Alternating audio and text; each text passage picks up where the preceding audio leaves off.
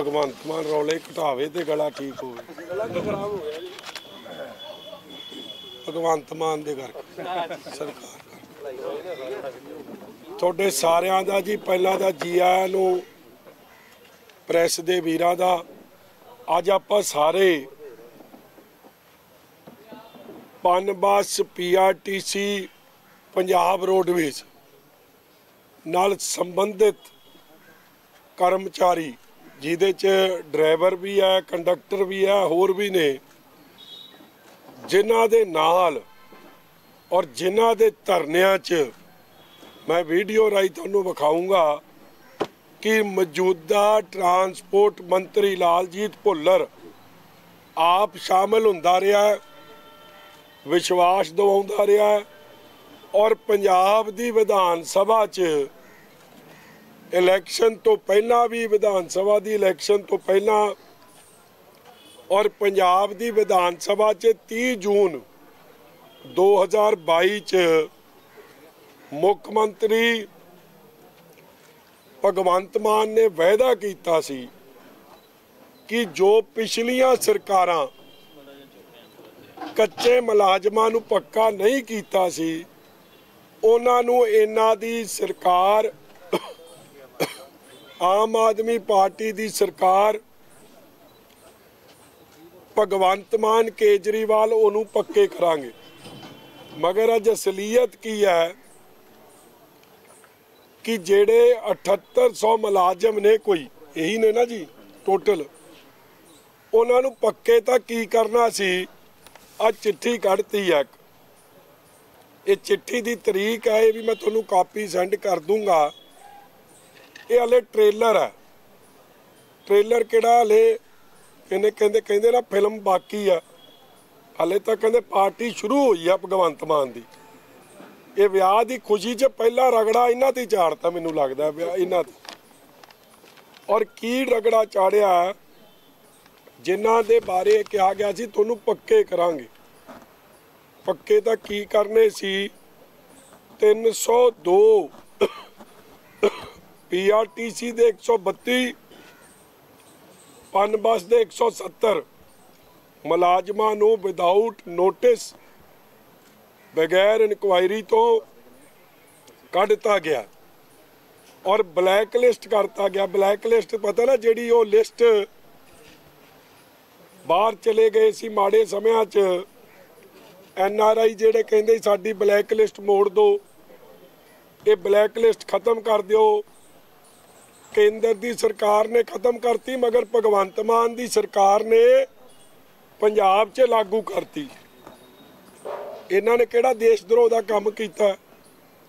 ਇਹਨਾਂ ਨੇ ਕਿਹੜਾ ਦੇਸ਼ ਦੇ ਨਾਲ ਗੱਦਾਰੀ ਕੀਤੀ? ਗੱਦਾਰੀ ਤੁਸੀਂ ਕੀਤੀ ਆ। ਭਗਵੰਤ ਮਾਨ ਤੂੰ ਕੀਤੀ ਆ। ਕੇਜਰੀਵਾਲ ਤੂੰ ਕੀਤੀ ਆ ਤੇ ਲਾਲਜੀਤ ਭੁੱਲਰ ਤੂੰ ਕੀਤੀ ਆ। ਇਹਨਾਂ ਨਾਲ ਵਾਅਦੇ ਕਰਕੇ ਗਏ ਸੀ। ਮੈਂ ਵੀਡੀਓ ਵਿਖਾ ਦਿਆਂ।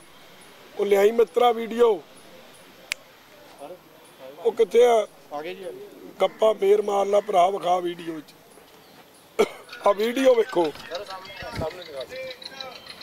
ਜਦੋਂ ਵੀ ਇਹ ਸਰਕਾਰਾਂ ਆਈਆਂ ਇਹਨਾਂ ਸਰਕਾਰਾਂ ਨੂੰ ਪਿੱਛੇ ਕਾਰਪੋਰੇਟ ਘਰਾਣੇ ਚਲਾਉਂਦੇ ਰਹੇ। ਜਿੰਨੂੰ ਫਾਇਦਾ ਹੁੰਦਾ ਰਿਹਾ ਤੇ ਉਸੇ ਤਰ੍ਹਾਂ ਹੀ ਚੁੱਪ। ਸਰਕਾਰਾਂ ਚੱਲਦੀਆਂ ਰਹੀਆਂ। ਇਹ ਆਵਾਜ਼ ਚੁੱਕ ਦੇਣਾ ਮੈਂ। ਉਹ ਨਹੀਂ ਆ ਦੇਣਾ ਲਾ ਦਿਓ ਜਿਹੜੇ ਟੋਟਲ 8000 ਕਾਮੇ ਕੰਮ ਕਰਦੇ ਨੇ ਪੂਰੇ ਪੰਜਾਬ ਦੇ ਵਿੱਚ ਉਹਨਾਂ ਦੇ ਵਿੱਚੋਂ 850 ਬਿਨਾਂ ਵਜ੍ਹਾ ਤੋਂ ਗਲਤ ਇਲਜ਼ਾਮ ਲਾ ਲਾ ਕੇ ਜਿਹੜੇ ਕੱਢੇ ਜਿਹੜੀ ਸਭ ਤੋਂ ਵੱਡੀ ਸਾਡੀ ਮੰਗ ਆ ਵੀਰੋ ਤੁਹਾਡੇ ਨਾਲ ਆ ਜਿੰਨਾ ਚਿਰ ਉਹਨਾਂ ਨੂੰ ਬਹਾਲ ਨਹੀਂ ਕੀਤਾ ਜਾਂਦਾ ਆਪਾਂ ਇਸੇ ਤਰ੍ਹਾਂ ਹੀ ਸੰਘਰਸ਼ ਦੇ ਵਿੱਚ ਤੁਹਾਡੇ ਨਾਲ ਡਟੇ ਰਵਾਂਗੇ। ਇਹ ਨਾ ਇੱਕ ਮਿੰਟ ਮੈਂ ਫੇਰ ਚਲਾ ਦੇਣਾ ਇਹਦਾ ਨਿਚੋੜ ਕੀ ਹੈ ਇਲੈਕਸ਼ਨ ਤੋਂ ਪਹਿਲਾਂ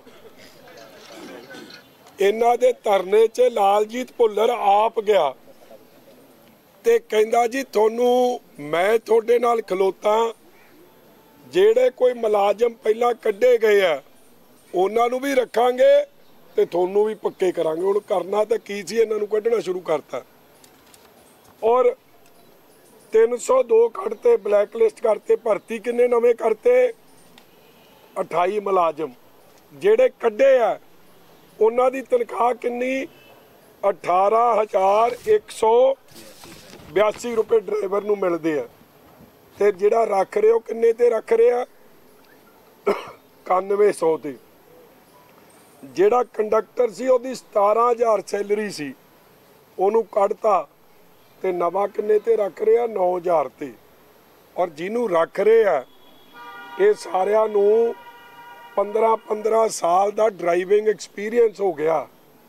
ਇਹ 15 ਸਾਲ ਇਹਨਾਂ ਨੂੰ ਕਿੱਥੇ ਤਾਂ ਪੱਕੇ ਕਰਨਾ ਸੀ, ਮਗਰ ਇਹਨਾਂ ਦੇ ਐਕਸਪੀਰੀਅੰਸ ਨੂੰ ਲੱਤ ਮਾਰ ਕੇ, ਇਹਨਾਂ ਦੇ ਪਰਿਵਾਰਾਂ ਨੂੰ ਲੱਤ ਮਾਰ ਕੇ ਇੱਕ 300 ਮੁਲਾਜ਼ਮ ਦੇ ਨਾਲ ਵੀ ਜੇ 5-5 ਜੀ ਜੁੜੇ ਹੋਣ, ਤੇ ਕਿੰਨਾ ਬਣ ਜਾਂਦਾ? ਉਹ 15000 ਇਹੀ ਬਣਿਆ ਨਾ ਜੀ। 15000 ਪਰਿਵਾਰਾਂ ਦੇ ਜੀਆਂ ਨਾਲ ਦੀ ਰੋਟੀ ਖੋਣ ਦਾ ਕੰਮ ਕਰ ਰਹੇ, ਜਿਨ੍ਹਾਂ ਦਾ ਚੁੱਲ੍ਹਾ ਬਲਦਾ ਉਸ ਚੁੱਲ੍ਹੇ ਨੂੰ ਅੱਜ ਆਪ ਲੱਤ ਮਾਰਨ ਦਾ ਕੰਮ ਲਾਲਜੀਤ ਭੁੱਲਰ, ਕੇਜਰੀਵਾਲ ਤੇ ਭਗਵੰਤ ਮਾਨ ਕਰ ਰਹੇ ਤੇ ਜਿਹੜੇ ਨਵੇਂ ਡਰਾਈਵਰ ਰੱਖ ਰਹੇ ਆ ਆ ਚਿੱਠੀ ਪੜਿਓ 2 ਮਿੰਟ ਮੈਂ ਪੜ੍ਹਦੇ ਆ। ਸਰਕਾਰੀ ਚਿੱਠੀ ਹੈ ਚੰਡੀਗੜ੍ਹੋਂ ਨਿਕਲੀ ਆ 13 12 22 ਦੀ Punjab state bus stand management company limited, Chandigarh. ਵਿਸ਼ੇ ਅੰਕਿਤ ਮਾਮਲੇ ਸੰਬੰਧੀ message Datar security services group Chandigarh ਵੱਲੋਂ 28 ਡਰਾਈਵਰ ਉਮੀਦਵਾਰ ਦੇ ਦਸਤਾਵੇਜ਼ ਦੀ ਵੈਰੀਫਿਕੇਸ਼ਨ ਕਰਵਾਉਣ ਉਪਰੰਤ ਇਸ ਦਫ਼ਤਰ ਨੂੰ ਸੂਚਿਤ ਕੀਤਾ ਜਾਂਦਾ ਹੈ। ਇਸ 'ਚ ਲਿਖਿਆ ਜਾਂਦਾ ਹੈ, ਆਪ ਜੀ ਨੂੰ ਕਿ message Datar security service group ਵੱਲੋਂ ਭੇਜੇ ਗਏ ਡਰਾਈਵਰ ਉਮੀਦਵਾਰ ਨੂੰ ਡਿਪੂਆਂ ਵਿੱਚ ਯੂਨੀਅਨ ਜੁਆਇਨ ਕਰਾਉਣ ਸੰਬੰਧੀ ਕੰਪਨੀ ਕਾਮਿਆਂ ਤੇ ਮੁਕੰਮਲ ਦਸਤਾਵੇਜ਼ ਸਮੇਤ ਵੈਰੀਫਿਕੇਸ਼ਨ ਰਿਪੋਰਟ ਪ੍ਰਾਪਤ ਕਰਦੇ ਹੋਏ ਮਿਤੀ 15 12 ਨੂੰ ਤੋਂ ਪਹਿਲਾਂ ਜੁਆਇਨ ਕਰਾਓ। ਜੁਆਇਨਿੰਗ ਕੌਣ ਕਰਾ ਰਿਹਾ? ਸਿਕਿਉਰਿਟੀ ਸਰਵਿਸ ਵਾਲੇ। ਔਰ ਜੁਆਇਨ ਕਿਵੇਂ ਕਰਾ ਰਹੇ ਆ? ਕਰਪਸ਼ਨ ਹੋਈ ਆ। ਲੱਖਾਂ ਦਾ ਲੈਣ ਦੇਣ ਹੋਇਆ। ਜਿਹਨੂੰ ਸ਼ਾਇਦ ਪੱਠੇ 'ਚ ਕੰਮ ਕਰਦਾ ਸੀ, ਉਹਨੂੰ ਬੱਸ ਦਾ ਡਰਾਈਵਰ ਬਣਾਤਾ ਤੇ ਬੱਸ ਤਾਂ ਫਿਰ ਹਰੀ ਕੇ ਪੁੱਲ ਟੱਪ ਜੂ। ਬਿਆਸ ਦਰਿਆ ਟੱਪ ਜੂ। ਉਦੋਂ ਫਿਰ ਇਹ ਭਗਵੰਤ ਮਾਨ ਤੇ ਲਾਲਜੀਤ ਭੁੱਲਰ ਆਉਣਗੇ, ਜੇ ਕੋਈ ਹਾਦਸਾ ਵਾਪਰ ਗਿਆ, ਦੋ ਕੰਜੂ ਸਿੱਟਣਗੇ। 2-2 ਲੱਖ ਕਿਸੇ ਪਰਿਵਾਰ ਦੇ ਜੀ ਨੂੰ ਦੇਣਗੇ ਤੇ ਆਪ ਦੀ ਜ਼ਿੰਮੇਵਾਰੀ ਤੋਂ ਫਾਰਗ ਹੋ ਜਾਣਗੇ। ਕੀ ਤੁਸੀਂ ਕਿਸੇ ਦੀ ਜ਼ਿੰਦਗੀ ਨਾਲ ਇਸ ਤਰ੍ਹਾਂ ਦਾ ਖਿਲਵਾੜ ਕਰ ਸਕਦੇ ਹੋ? ਜਿਹਨੂੰ ਡਰਾਈਵਿੰਗ ਦਾ ਐਕਸਪੀਰੀਅੰਸ ਨਾ ਹੋਵੇ, ਇੱਕ ਪਾਸੇ 15 ਸਾਲ ਦਾ ਐਕਸਪੀਰੀਅੰਸ ਦੂਜੇ ਪਾਸੇ 10 ਦਿਨ ਦਾ ਐਕਸਪੀਰੀਅੰਸ ਨਹੀਂ, ਉਹਨੂੰ ਤੁਸੀਂ ਵੱਡੀ ਗੱਡੀ ਫੜਾ ਦਿਓ ਹੈਵੀ ਡਿਊਟੀ ਗੱਡੀ ਫੜਾ ਦਿਓ, ਇਹ ਹਾਲਾਤ ਬਣੇ।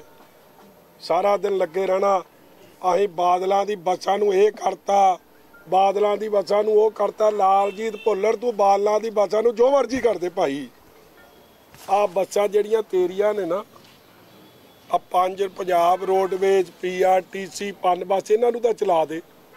250 ਕਰੋੜ ਇਹਨਾਂ ਦਾ ਦੇਣ ਵਾਲਾ ਰਹਿੰਦਾ। ਇਹਨਾਂ ਦੇ ਪਰਿਵਾਰ ਨਹੀਂ। ਇਹਨਾਂ ਦੀ ਜ਼ਿੰਮੇਵਾਰੀ, ਜਿਹਦੀ ਜ਼ਿੰਮੇਵਾਰੀ ਹੈ ਉਹਦੀ ਗੱਲ ਨਹੀਂ ਕਰਨੀ। ਅਵਤਾਰ ਹੈਨਰੀ ਦਾ ਫਿਕਰ ਵੱਧ। ਦੀਪ ਦਾ ਵੱਧ, ਜੁਝਾਰ ਦਾ ਵੱਧ, ਮਗਰ ਆਪ ਦੀ ਜ਼ਿੰਮੇਵਾਰੀ ਜਿਹੜੀ ਲੋਕਾਂ ਨੇ ਦਿੱਤੀ, ਉਹਦਾ ਕੋਈ ਫਿਕਰ ਨਹੀਂ।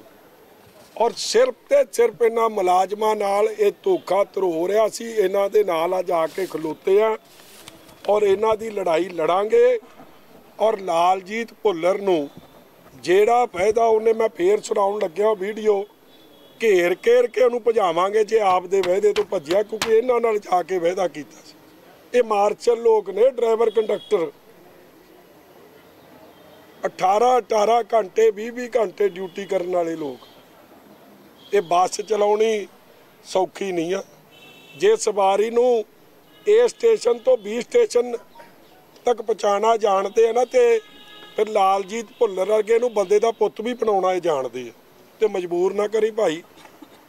ਅਸੀਂ ਵੀ ਨਾਲ ਖੜਾਂਗੇ ਕਿਉਂਕਿ ਧੋਖਾ ਕਰਦੇ ਹੋ ਤੁਸੀਂ। ਝੂਠ ਬੋਲਦੇ ਹੋ।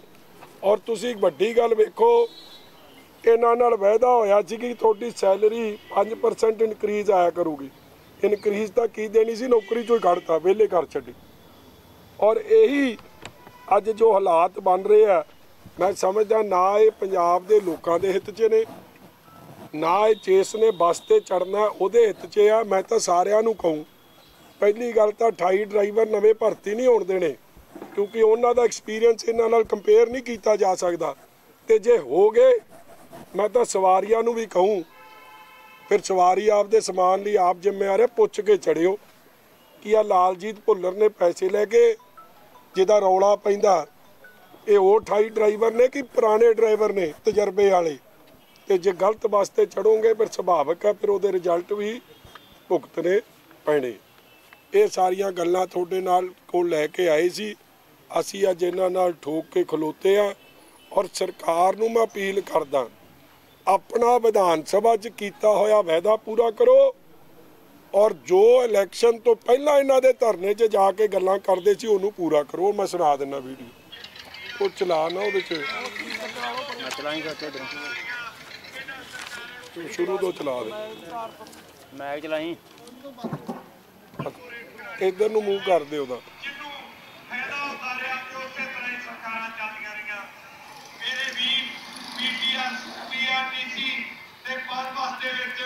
ਜਿਹੜੇ ਟੋਟਲ 8000 ਕਾਮੇ ਕੰਮ ਕਰਦੇ ਨੇ ਪੂਰੇ ਪੰਜਾਬ ਦੇ ਵਿੱਚ ਉਹਨਾਂ ਦੇ ਵਿੱਚੋਂ 850 ਬਿਨਾਂ ਵਜ੍ਹਾ ਤੋਂ ਗਲਤ ਇਲਜ਼ਾਮ ਲਾ ਲਾ ਕੇ ਜਿਹੜੇ ਕੱਟੇ ਜਿਹੜੀ ਸਭ ਤੋਂ ਵੱਡੀ ਸਾਡੀ ਮੰਗ ਵੀਰੋ ਤੁਹਾਡੇ ਨਾਲ ਆ ਜਿੰਨਾ ਚਿਰ ਉਹਨਾਂ ਨੂੰ ਬਹਾਲ ਨਹੀਂ ਕੀਤਾ ਜਾਂਦਾ ਆਪਾਂ ਇਸੇ ਤਰ੍ਹਾਂ ਹੀ ਇੱਥੇ ਸੰਘਰਸ਼ ਦੇ ਵਿੱਚ ਤੁਹਾਡੇ ਨਾਲ ਡਟੇ ਰਹਾਂਗੇ ਇਹ ਤਾਂ ਭੁੱਲ ਗਏ ਹੋਣੇ ਕਿ ਇਹਨਾਂ ਦੇ ਧਰਨੇ 'ਚੋਂ ਸ਼ਾਮਲ ਹੋਇਆ ਸੀ ਮੈਂ ਤਾਂ ਵੱਡੇ ਵੱਡਿਆਂ ਦਾ ਰਿਕਾਰਡ ਕੱਢ ਲਿਆਉਣਾ ਆ ਦੂਜਾ ਸੀਐਮ ਦਾ ਮੈਂ ਦੱਸਦਾ ਤੁਹਾਨੂੰ ਵਿਧਾਨ ਸਭਾ 'ਚ ਕੀ ਬੋਲਿਆ।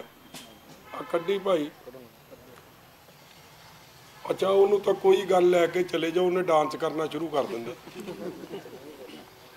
ਸਾਡੀ ਸਰਕਾਰ ਦੀ ਪ੍ਰਾਇੋਰਟੀ ਹੈ ਕਿ ਕੱਚੇ ਮੁਲਾਜ਼ਮ ਜਿਹੜੇ ਨੇ ਉਹਨਾਂ ਨੂੰ ਸਰਕਾਰੀ ਨੌਕਰੀ 'ਚ ਪੱਕਾ ਕਰਨ ਦਾ ਤਨਦੇਹੀ ਨਾਲ ਅਸੀਂ ਕੰਮ ਕਰੀਏ।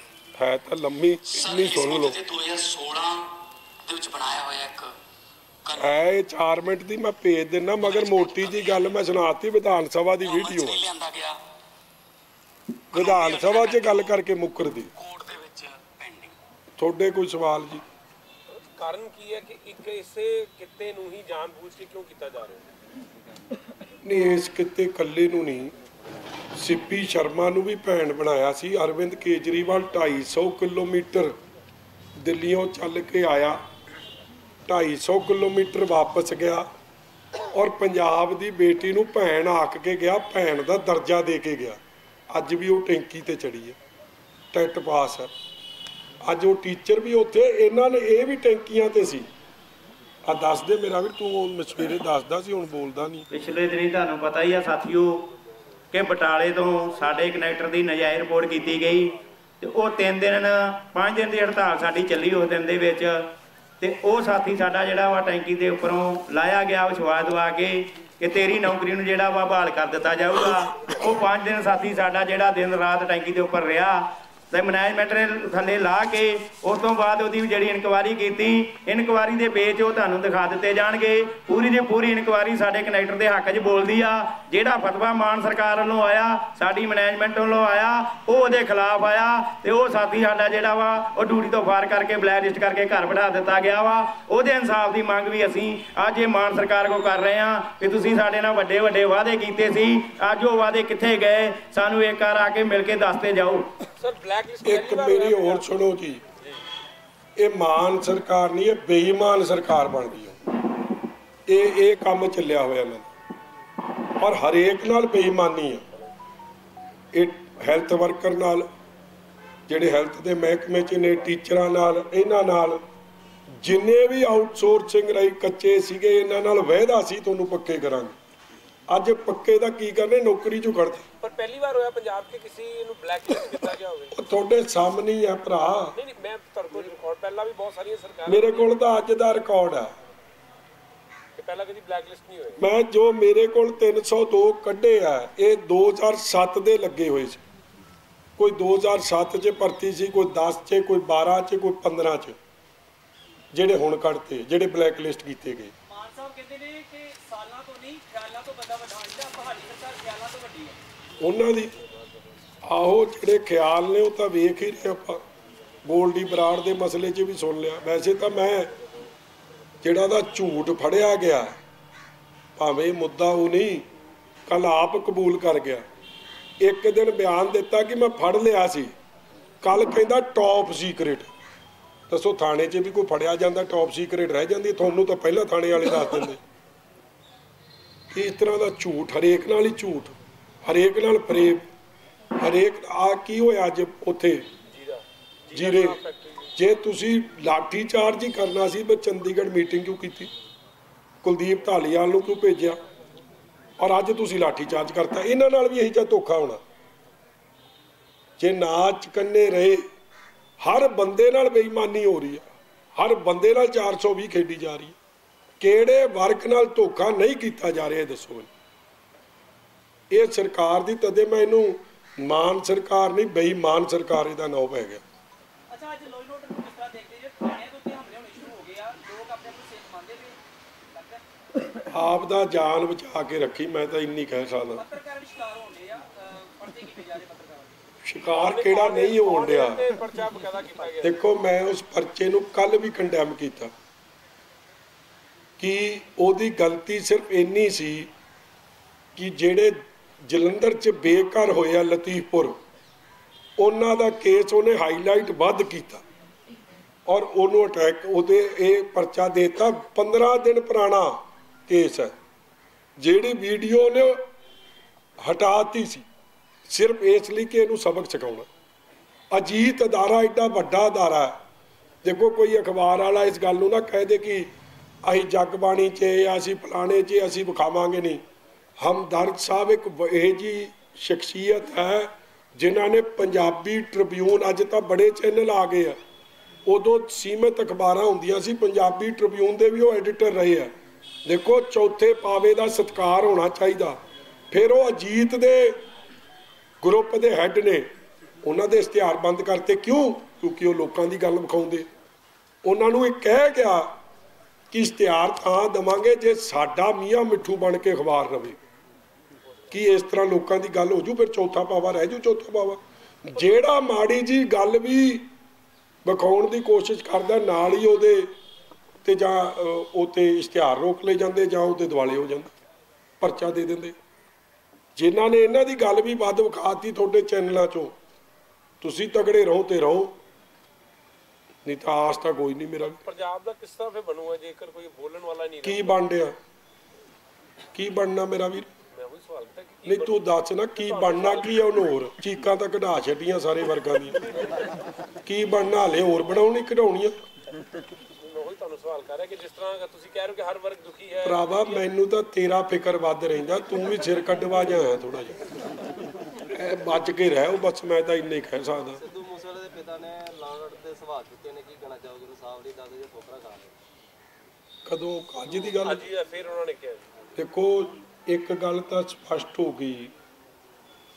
ਸਿੱਧੂ ਮੂਸੇਵਾਲਾ ਸਾਹਿਬ ਦੇ ਬਜ਼ੁਰਗ ਨੇ ਇਹ ਗੱਲ ਕਹੀ ਸੀ ਕਿ ਜੇ ਸਰਕਾਰ ਕੋਲ ਪੈਸੇ ਨਹੀਂ, ਸਰਕਾਰ ਵੈਸੇ 6-700 ਕਰੋੜ ਦੇ ਇਸ਼ਤਿਹਾਰ ਗੁਜਰਾਤ ਦੀ ਇਲੈਕਸ਼ਨ ਤੇ ਹਿਮਾਚਲ ਦੀ ਇਲੈਕਸ਼ਨ 'ਚ ਖਰਚ ਕਰ ਸਕਦੀ ਆ, ਇਹਨਾਂ ਨੂੰ ਤਨਖਾਹਾਂ ਨਹੀਂ ਦੇ ਸਕਦੀ। ਐਡੀ ਬੇਈਮਾਨ ਸਰਕਾਰ।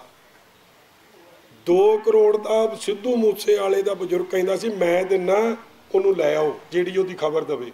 ਖਬਰ ਤਾਂ ਕੀ ਦੇਣੀ ਸੀ? ਝੂਠੀ ਖਬਰ ਸੀਐਮ ਨੇ ਆਪ ਫੈਲਾਈ ਕਿ ਉਹ ਚਕੰਨਾ ਹੋ ਕੇ ਗੋਲਡੀ ਬਰਾੜ ਭਾਜੇ ਤੇ ਹੁਣ ਉਹ ਕਿਸੇ ਦੇ ਹੱਥ ਨਾ ਆਵੇ ਤੇ ਜੇ ਕੋਈ ਚੈਨਲ ਉਹਨੂੰ ਪੁੱਛਦਾ ਕਿ ਗੋਲਡੀ ਬਰਾੜ ਕਿਹੜੇ ਥਾਣੇ 'ਚ ਫੜਿਆ ਗਿਆ ਆਡੀ ਆਡੀ ਅੱਖਾਂ ਕੱਢ ਕੇ ਕਹਿੰਦਾ ਟਾਪ ਸੀਕ੍ਰੇਟ ਮਾਮਾ, ਫਿਰ ਤੂੰ ਕਿਉਂ ਦੱਸਦਾ ਸੀ ਫੜਿਆ ਗਿਆ? ਜੇ ਟਾਪ ਸੀਕ੍ਰੇਟ ਸੀ, ਫਿਰ ਉਦੋਂ ਕੀ ਸੀ? ਜੇ ਟਾਪ ਸੀਕ੍ਰੇਟ ਗੱਲ ਸੀ ਪਰ ਤੁਸੀਂ ਕਿਉਂ ਦੱਸੀ ਕਿ ਫੜਿਆ ਗਿਆ? ਗੱਲ ਦਾ ਰੌਲਾ ਤਾਂ ਤੁਸੀਂ ਪਵਾਇਆ ਸੀਐਮ ਸਾਹਿਬ। ਤੇ ਅੱਜ ਟਾਪ ਸੀਕ੍ਰੇਟ ਹੋ ਗਈ। ਇਸ ਤਰ੍ਹਾਂ ਮੂਰਖ ਨਹੀਂ ਬਣਨੇ ਲੋਕ। ਇਹ ਧੋਖੇਬਾਜ਼ੀ ਉਸ ਪਰਿਵਾਰ ਦੇ ਨਾਲ ਖਲਵਾੜ ਹੈ। ਉਹਨਾਂ ਦੀਆਂ ਭਾਵਨਾਵਾਂ ਨਾਲ ਬਲਕੌਰ ਸਿੰਘ ਤੇ ਉਹਨਾਂ ਦੀ ਮਾਤਾ ਦੀ ਭਾਵਨਾ ਨਾਲ ਖਲਵਾੜ ਹੈ। ਜਾਂ ਜਿਹੜੇ ਉਹਨਾਂ ਦੇ ਸ਼ਿਕਾਰ ਹੋਏ ਉਹਨਾਂ ਦੀ ਭਾਵਨਾ ਨਾਲ ਖਲਵਾੜ। ਲੱਗਦਾ ਭਗਵੰਤ ਮਾਨ ਨੇ ਭੁਜਾਤਾ ਫਿਰ ਉਹਨੂੰ? 100% 100% ਇਹਨੇ ਇਹ ਇਹ ਜੀ ਸਟੇਟਮੈਂਟ ਦੇ ਕੇ ਇਹ ਸਟੇਟਮੈਂਟ ਦੇ ਕੇ ਇਹ ਗੋਲਡੀ ਬਰਾੜ ਦੀ ਇਹਨੇ ਮਦਦ ਕੀਤੀ ਆ। ਨਹੀਂ ਤਾਂ ਐਡਾ ਮੁੱਖ ਮੰਤਰੀ ਦੀ ਕੁਰਸੀ ਤੇ ਐਡੀ ਇਰਰਿਸਪੌਂਸਿਬਲ ਗੱਲ ਨਾ ਕਰਦਾ। ਜਿਸ ਦਿਨ ਉਹ ਵਾਕੇ ਪੜਿਆ ਜਾਂਦਾ, ਉਸ ਦਿਨ ਥੋੜੀ ਅਖਬਾਰਾਂ ਵਾਲਿਆਂ ਨੇ ਛਾਪ ਦੇਣਾ ਸੀ। ਮਗਰ ਇਹ ਜੀ ਗੱਲ ਕਰਕੇ ਉਹਦਾ ਲਾਹਾ ਸਿਰਫ ਤੇ ਸਿਰਫ ਗੋਲਡੀ ਬਰਾੜ ਨੂੰ ਮਿਲਿਆ ਔਰ ਕਿਸੇ ਨੂੰ ਨਹੀਂ ਮਿਲਿਆ ਮਨਜਿੰਦਰ ਸਿੰਘ ਸਿੱਸਾ ਨੇ ਟਵੀਟ ਕਰਕੇ ਕਿਹਾ ਕਿ ਜਿਹੜਾ ਪੰਜਾਬ ਦੇ ਵਿੱਚ ਈਸਾਈ ਭਾਈਚਾਰੇ ਜਿਹੜੇ ਨੇ ਅਹ ਜਦ ਵੀ ਅਹ ਸਿੱਖਾਂ ਨੂੰ ਧਰਮ ਪਰਸਤਾਂ ਨੇ ਕਿਹਾ ਜਾ ਰਿਹਾ ਹਾਂਜੀ। ਮਨਜੀਤ ਸਿੰਘ ਸਿੱਸੇ ਵੱਲੋਂ ਕਿਹਾ ਗਿਆ ਟਵੀਟ ਕਰਕੇ ਇਹ ਕਿ ਜਿਹੜੇ ਈਸਾਈ ਭਾਈਚਾਰੇ ਵਾਲੇ ਆ ਉਹ ਸਿੱਖਾਂ ਨੂੰ ਜਬਰੀ ਧਰਮ ਚਲੋ ਜਿਹੜਾ ਮੈਂ ਹੁਣ ਉਹਦਾ ਪੀਏ ਤਾਂ ਲੱਗਿਆ ਨਹੀਂ ਭਰਾ। ਦਿੱਲੀ ਬੈਠੇ ਕੋਈ ਕੀ ਕਹੀ ਜਾਂਦਾ ਤੁਸੀਂ ਮਸਲੇ ਅੱਜ ਦੀ ਗੱਲ ਕਰੋ। ਤੋ ਇਹਨਾਂ ਮੇਰੀ ਤੁਹਾਨੂੰ ਬੇਨਤੀ ਹੈ ਇਹ ਵਿਚਾਰੇ ਕੋਈ ਤਨਾਟ ਜਾਪਦਾ ਇਹਨਾਂ ਚੋਂ ਤੁਹਾਨੂੰ ਕੋਈ ਕੋਈ ਕਰੋੜਪਤੀ ਅਰਬਾਪਤੀ ਵਾਲਾ ਹੈ ਇਹਨਾਂ ਚੋਂ ਉਹਨੂੰ ਕਹਿ ਦਿੰਨੇ ਭਾਈ ਤੂੰ ਗੇਟ ਤੋਂ ਬਾਹਰ ਹੋ ਜਾ। ਗੱਲ ਸੁਣਨਾ ਮੇਰਾ ਵੀਰ। ਇਹ ਸਭ ਤੋਂ ਮਿਹਨਤੀ ਭਾਈਚਾਰੇ ਦੀ ਗੱਲ ਹੋ ਰਹੀ ਹੈ ਡਰਾਈਵਰ ਕੰਡਕਟਰ। ਔਰ ਉਹਨਾਂ ਦੇ ਦਰਦ ਨੂੰ ਸਮਝੋ ਇਹਨਾਂ ਦੇ ਵੀ ਨਿਆਣੇ ਸਕੂਲ ਜਾਣੇ। ਇਹਨਾਂ ਦੇ ਨਿਆਣਿਆਂ ਦੇ ਵੀ ਵਿਆਹ ਹੋਣੇ ਆ। ਇਹਨਾਂ ਨੇ ਵੀ ਘਰ ਪਾਉਣਾ। ਇਹਨਾਂ ਦਾ ਨਿਆਣਾ ਵੀ ਸਕੂਟਰੀ ਮੰਗਦਾ। ਇਹਨਾਂ ਦਾ ਨਿਆਣਾ ਵੀ ਚਾਹੁੰਦਾ ਮੈਨੂੰ ਮੋਟਰਸਾਈਕਲ ਮਿਲ ਜੇ। ਇਹਨਾਂ ਦੀ ਵੀ ਆਸਾਂ ਉਮੀਦਾਂ ਨੇ, ਉਹਨਾਂ ਦਾ ਵੇਖ ਲਓ। ਤੇ ਜਿਹਨੂੰ ਅੱਜ ਜੇਸ ਕੰਮ ਲਈ ਆਏ ਨਾ, ਇਸ ਨੂੰ ਇਸੇ ਕੰਮ ਤੇ ਰਹਿਣ ਦਿਓ। ਅੱਜ ਹੋਰ ਕੁਝ ਨਾ ਕਰੋ, ਗੱਲ ਜੋ ਇਹਨਾਂ ਨਾਲ ਵਾਅਦਾ ਹੋਇਆ ਸੀ, ਮੈਂ ਤੁਹਾਨੂੰ ਵੀਡੀਓ ਕਲਿੱਪਿੰਗ ਦਿਖਾ ਕੇ ਕਹੀ ਕਿ ਲਾਲਜੀਤ ਭੁੱਲਰ ਆਪ ਜਾ ਕੇ ਵਾਅਦਾ ਕਰ ਰਿਹਾ ਤੇ ਅੱਜ ਮੁੱਕਰ ਰਿਹਾ। ਔਰ ਜ਼ਿੰਦਗੀ ਨਾਲ ਖੇਡਣ ਦੀ ਕਿਹਦੇ ਨਾਲ ਤਿਆਰੀ ਆ? ਸਵਾਰੀਆਂ ਦੀ। ਜਿਹੜਾ 10 ਮਿੰਟ ਦਾ ਡਰਾਈਵਰ ਹੈ, ਭੱਠੇ ਤੋਂ ਚੱਕਿਆ ਤੁਸੀਂ ਪੈਸੇ ਲੈ ਕੇ। ਸਿਕਿਉਰਿਟੀ ਏਜੰਸੀ ਉਹਨੂੰ ਹਾਇਰ ਕਰ ਰਹੀ ਹੈ ਕਿ ਉਹ 15 ਸਾਲ ਦੇ ਐਕਸਪੀਰੀਅੰਸ ਵਾਲੇ ਡਰਾਈਵਰ ਨਾਲ ਮੁਕਾਬਲਾ ਕਰ ਜੂ। ਕਦੇ ਵੀ ਕਰ ਜੂ, ਕਦੇ ਨਹੀਂ ਕਰ ਸਕਦੀ। ਔਰ ਉਹਨੂੰ 9000 ਦੇ ਕੇ ਰਾਜੀ ਕਰ ਲਿਆ। ਤੁਸੀਂ ਤਾਂ ਬੰਦ ਕਰਤੀ ਸੀ ਆਊਟਸੋਰਸਿੰਗ ਸਰਕਾਰ ਨੇ। ਤੁਸੀਂ ਤਾਂ ਕੱਚੇ ਰੱਖਣੇ ਨਹੀਂ ਸੀ। 18000 ਵਾਲੇ ਨੂੰ ਘਰ ਤੋਰਤਾ ਤੁਸੀਂ। ਇਹ ਤੋਂ ਬੇਈਮਾਨ ਕਿਹੜਾ ਮਾਨ ਹੋ ਸਕਦਾ ਫਿਰ? ਇਹ ਸਿਰਫ ਭਗਵੰਤ ਮਾਨ ਹੋ ਸਕਦਾ। ਥੈਂਕ ਯੂ ਤੁਸੀਂ ਕੋਈ ਗੱਲ ਕਰਨੀ ਕਹਿ ਦਿਓ ਜੀ, ਇਹਨਾਂ ਦੀ ਗੱਲ ਸੁਣ ਲਿਓ ਜੀ। ਅਸੀਂ ਸਾਡੇ ਵਿੱਚ, ਸਾਡੇ ਸੰਘਰਸ਼ ਨੂੰ ਬੜਾਵਾ ਦੇਣ ਵਾਸਤੇ ਸ਼੍ਰੋਮਣੀ ਅਕਾਲੀ ਦਲ ਤੋਂ ਸਾਬਕਾ ਕੈਬਨਿਟ ਮੰਤਰੀ ਵਿਕਰਮਜੀਤ ਮਜੀਠੀਆ ਦਾ, ਸਾਡੇ ਸੰਘਰਸ਼ ਵਿੱਚ ਸਾਡੀ ਹਮਾਇਤ ਕਰਨ ਤੇ PUNBUS PRTC contract worker union number Punjab ਵੱਲੋਂ ਬਹੁਤ ਬਹੁਤ ਧੰਨਵਾਦ ਕਰਦੇ ਹਾਂ। ਆਸ ਕਰਦੇ ਹਾਂ ਕਿ ਮਾਨ ਸਰਕਾਰ ਦੀਆਂ ਵੀ ਅੱਖਾਂ ਖੁੱਲਣਗੀਆਂ।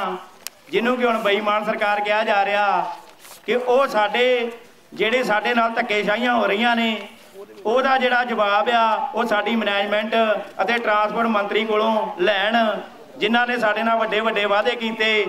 ਕਿਉਂਕਿ 2016 ਐਕਟ ਜਿਹੜਾ ਬਣਾ ਕੇ ਗਏ ਸੀ ਅਕਾਲੀ ਦਲ ਸਰਕਾਰ, ਉਹ 2016 ਐਕਟ ਜਿਹੜਾ ਉਹ ਵੀ ਬਿਸਤਰੇ ਦੇ ਵਿੱਚ, ਬਸਤੇ ਦੇ ਵਿੱਚ ਪਾ ਦਿੱਤਾ ਗਿਆ। ਉਹਦੇ ਵਿੱਚ ਵੀ ਅਸੀਂ ਸਾਰੇ ਮੁਲਾਜ਼ਮ ਜਿਹੜੇ ਪੱਕੇ ਹੁੰਦੇ ਸੀ। ਪਰ ਸਾਡੀ ਲੋਟੀ ਹੁੰਦੀ ਆ ਰਹੀ ਆ। ਅਸੀਂ ਮਾਨ ਸਰਕਾਰ ਤੇ ਵਿਸ਼ਵਾਸ ਕੀਤਾ ਸੀ, ਪਰ ਉਹਨਾਂ ਸਭ ਤੋਂ ਜ਼ਿਆਦਾ ਧੱਕੇਸ਼ਾਹੀ ਸਾਡੇ ਨਾਲ ਕੀਤੀ ਆ। 9 9 ਮਹੀਨੇ ਹੋ ਚੁੱਕੇ ਨੇ ਸਰਕਾਰ ਆਈ ਨੂੰ ਤੇ ਸਰਕਾਰ ਨੇ ਦਿਨ ਤੋਂ ਦਿਨ ਸਾਡੇ ਉੱਤੇ ਜਿਹੜੇ ਧੱਕੇਸ਼ਾਹੀਆਂ ਦੇ ਫਤਵੇ ਜਾਰੀ ਕੀਤੇ ਆ, ਇੱਕ ਤੇ ਹੁਕਮ ਜਾਰੀ ਕਰਨੇ ਹੁੰਦੇ ਆ, ਇੱਕ ਫਤਵਾ ਲਾ ਦੇਣਾ। ਸਾਡੀ ਡਾਇਰੈਕਟਰ ਮੈਡਮ ਵੱਲੋਂ ਸਾਡੇ ਤੇ ਫਤਵਾ ਲਾ ਦਿੱਤਾ ਜਾਂਦਾ ਕਿ ਇਹ ਵਰਕਰ ਦੀ ਸੁਣਵਾਈ ਨਹੀਂ ਕੀਤੀ ਜਾਊਗੀ। ਇਹਦੀ ਇਨਕੁਆਰੀ ਇਹਦੇ ਬਰਖਲਾਫ ਕਰ ਦਿਓ। ਇਹਨੂੰ ਫੜ ਕੇ ਇਹਨੂੰ ਘਰ ਨੂੰ ਤੋੜ ਦਿਓ। ਉਹ ਇਸੇ ਤਰ੍ਹਾਂ ਹੀ ਸਾਡੇ ਨਾਲ ਧੱਕੇਸ਼ਾਹੀਆਂ ਹੋ ਰਹੀਆਂ ਵਾ। ਅਸੀਂ ਗੁਹਾਰ ਲਾ ਰਹੇ ਹਾਂ ਵਾਰ-ਵਾਰ। ਅਸੀਂ ਫਿਰ ਤੋਂ ਧੰਨਵਾਦੀ ਹਾਂ ਬਿਕਰਮਜੀਤ ਸਿੰਘ ਮਜੀਠੀਆ ਜੀ ਦੇ ਕਿ ਮੰਤਰੀ ਦੇ ਜਿਹੜੇ ਸਾਡੇ ਵਿੱਚ ਆਏ, ਉਹਨਾਂ ਦਾ ਬਹੁਤ-ਬਹੁਤ ਧੰਨਵਾਦ ਜੀ।